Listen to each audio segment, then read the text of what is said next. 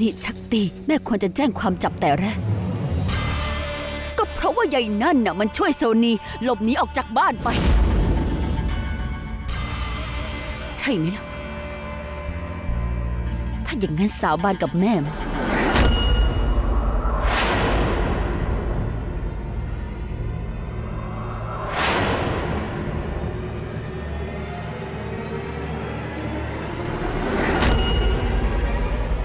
สาบานต่อหน้าแม่ ว่าลูกจะล้างแค้นให้กับแม่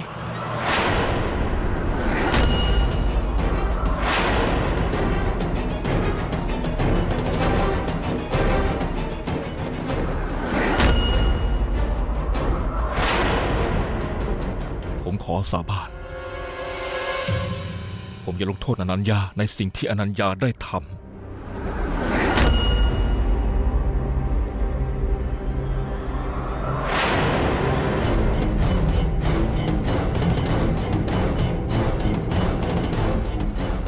อนัญญา